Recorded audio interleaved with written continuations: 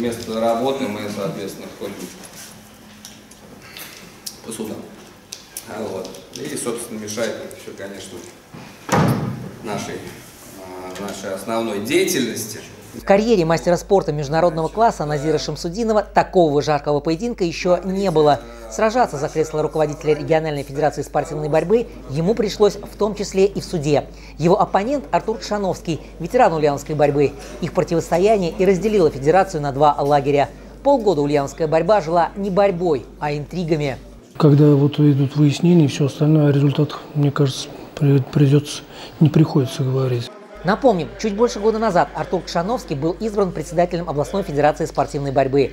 Но через некоторое время, недовольной работой нового руководителя, спортсмены и тренеры вернули на этот пост Назира Шамсудинова.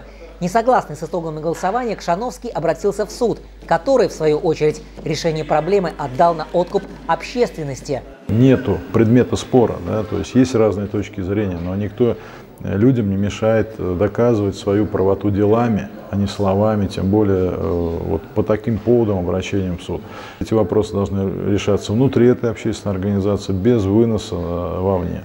Вынеся ссор из избы, Кшановский, по сути, лишился большей части своих сторонников. И новое голосование за кандидатуру руководителя региональной федерации борьбы проиграл, говоря борцовским языком, на туше. Чтобы посчитать количество поддержавших Кшановского, хватило пальцев одной руки. Чтобы посчитать отданные голоса за Шамсудинова, счетной комиссии пришлось воспользоваться калькулятором. Противоречия были, есть и будут. Но самое главное, если борцы обладают уважением, то все у них получится, все будет хорошо. Надо очень уважительно относиться к мнению большинства, если ты считаешь себя членом команды. Работа будет идти, новыми силами люди все поверили. Если раньше было, как говорится, в этой, на другой стороне барьера 47 э, человек, а теперь их только 4. Несмотря на все распри и конфликты, сотрясавшие борцовскую федерацию последние полгода, участники конференции дали удовлетворительную оценку работы Совета Федерации спортивной борьбы за минувший 2019.